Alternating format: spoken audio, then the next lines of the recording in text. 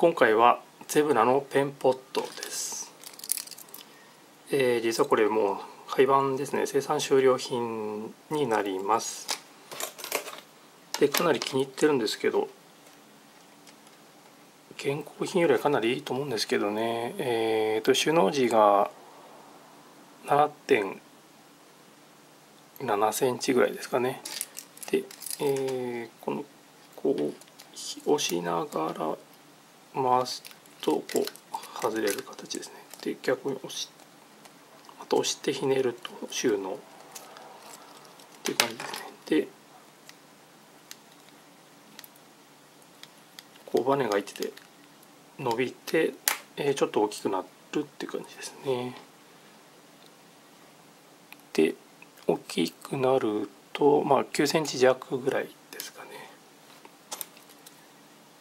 でこのボールの芯がねボールペンの芯が回芯が 4C 規格なんで、まあ、ゼブラですけど今すでにこれオートの回芯を入れてますね。ちょっと見えないかな。オートですねこれは。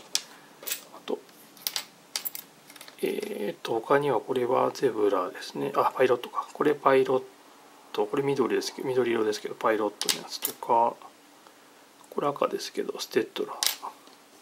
かも使えますね。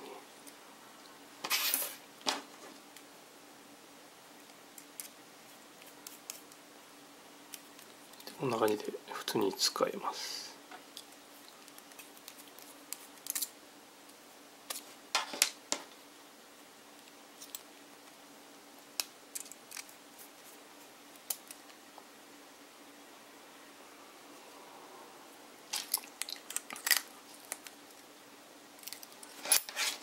確かこれが315円くらいだと思うんですよね。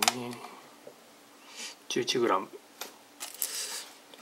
とまとめ買いしとけばよかったなと。ちょっと若干後悔してるぐらい結構気に入ってます。え以上ゼブラのペンポットでした。